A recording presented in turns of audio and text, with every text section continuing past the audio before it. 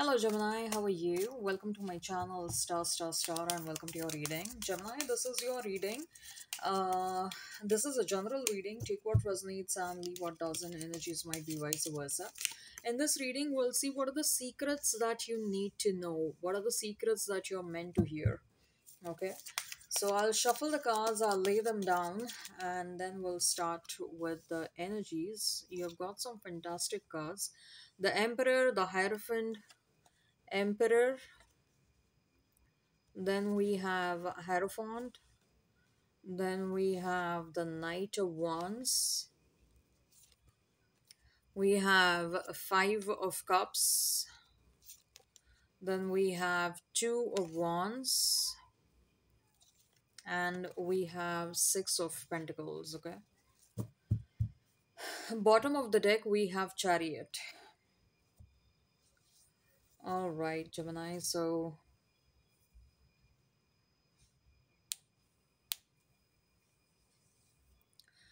Uh, Gemini, what I feel over here is your success is kind of dependent upon uh, the uh, professional personal success in this lifetime is kind of dependent upon how you network with people. You are meant to get in touch with people who are more successful than you, people who are more educated and more uh, people who have been through a lot, people who are full of experiences in their life, people who have a lot of wisdom. Your success is kind of dependent upon you maintaining and you developing relationships with such kind of people.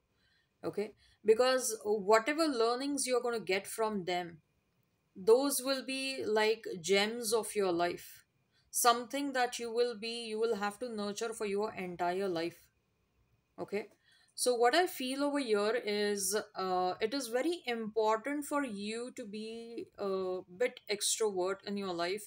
Be open to meeting and greeting people. Be open to developing relationships. And when i say relationship not necessarily uh, only romantic relationship okay? You have to talk to people from uh, all walks of life.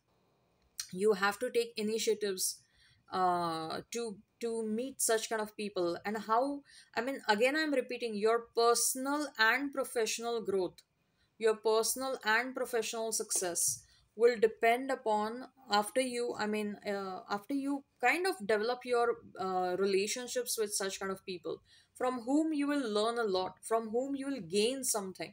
And you are meant to cross paths with such kind of people in this lifetime you're meant to cross paths with people who are very successful who are very wise who are very mature probably very spiritually awakened as well. And these people are meant to become your your mentors. They are meant to become your friends in in long term. They are meant to guide you. You will get you will get a lot from them and you're meant again i'm repeating you're meant to do something like this because in this lifetime your personal and professional growth is kind of dependent upon you meeting such kind of people you maintaining relationships from such kind of with such kind of people. And again i'm i'm repeat i'm using the word personal as well. Even your personal growth is dependent upon uh, uh upon upon upon this. Okay? The kind of tidbits that you're going to get from these people they will they will help you in long run okay? I, again i do feel like uh, so for that you have to be a bit vocal. You have to be open to experiences. You have to be open to meeting people. How you can meet people maybe by attending seminars and webinars and you know probably if you're open to learning maybe going back to school college and university or maybe uh, learning certain new skills upgrading your skills uh, skill sets. Okay keep on learning continuously. Learning is going to be a very important part of your life. If you if you really want to grow as a person if you really want to attract right kind of people see the more we grow the more uh, it helps us to attract right kind of people. People with right mindset get attracted towards us if we are also in that mindset and for you to get into a right kind of a mindset you have to take an initiative to to be with such kind of people. Okay? Then another message i'm getting over here is please stay away from people who are not who are highly inconsistent who don't have that mojo or who don't have that uh, right kind of an attitude who are very inconsistent who who do not want to do anything you know what? There are two types of people. One is positive one is negative. Positive people they try to find solution for every people.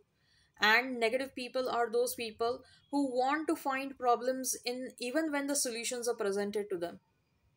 Okay? Or who try to create more and more problems. Or who like to keep on uh, caressing the problems that they have they want to use the problems uh, as a pretext so that they always have the reasons for whatever is not happening in their life. And i do feel like you will be surrounded by such kind of people as well. You have to recognize such kind of people and you have to be bold enough you have to be courageous enough to distance yourself from such kind of people. Otherwise, these people will keep you stuck in your life.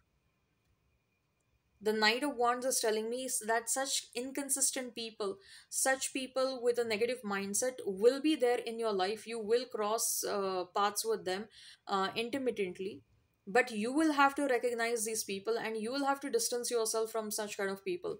You have to be very emotionally and mentally strong. You have to learn to say no I think so. Learning to, I mean, I think so. Saying no is the most difficult part of your life. Saying no is something that you really, um, uh,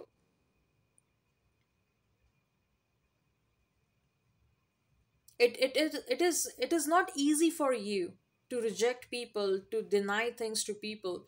You you really like saying yes to make someone else happy, and you have done that so far. You have been doing that, but you have to curb that practice. You have to stop stop that Another message I'm getting over here is men in your life, whether you are a man or a woman watching this, I do feel like men will, uh, whether it is a father, whether it is a husband, whether it is a brother, whether it is a friend, or whether it is anyone else, a boss, whether it is a mentor, but men will will be very very important to you because they will be hand holding you they will do a lot of things they will kind of help you push you towards your destiny Having said so, I'm not saying that females won't be important, but the kind of desired changes you want in your life, these changes will happen through masculine energies. And especially, I do feel like these are some ancestral masculine energies which are trying to push you towards the desired direction, which are trying to push you towards your destiny. So, if you are feeling the presence of such kind of energies, if you're feeling like someone is trying to someone wants me to do something and if that is a gut feeling if that's an inner voice please go ahead and do that. Do not reject that voice. Travel is very healing for you. Travel will prove to be extremely healing. So if at all you feel like depressed for days together please pack your bags and go somewhere even if it is for one day or two days pack a bag and go somewhere. Travel is extremely extremely healing for you. It is healing for many people but when it comes to you it it it, it acts like a miracle. It's a miraculous medicine for you. Traveling is a miraculous medicine for you. Remember this always and claim the messages in the comments section the next thing i do feel gemini is that uh, the money that you're going to make in this lifetime the money and the love okay? The money that is meant to come towards you money is coming especially from far off distances. So probably you will be doing some sort of a business or you will be engaging into something from uh, where through which you will make a lot of money from the country that you don't belong to. It will come from countries outside of your country. So I do see a lot of foreign income over here. And even for you i do feel like your spouse is going to be a foreign spouse. Might be of a same ethnicity might uh, uh, might have grown up in the same place where you are right now or where, where you had grown up. But probably right now for work they are somewhere else. But i i do see there is a distance between you and your future spouse and uh, you will meet your future spouse through a common friend or someone might act as a mediator or probably you will meet your future spouse online. But i i the the possibility of you meeting your future spouse through someone is also very strong. Your future spouse is going to be very wise by the way. Very wise very uh, liberal in mindset very wise but this person will have some strong religious upbringing as well they probably are uh, they either they have a spiritual inclination or religious inclination Again, I'm telling you, if you at all feel depressed or sad in your life for days together, make sure you pack your bags and go somewhere. That will be a miraculous healing for you. Your future spouse very likely is going to be uh, someone who who has who is already successful in their life or someone who is doing very well in their life, personally and professionally.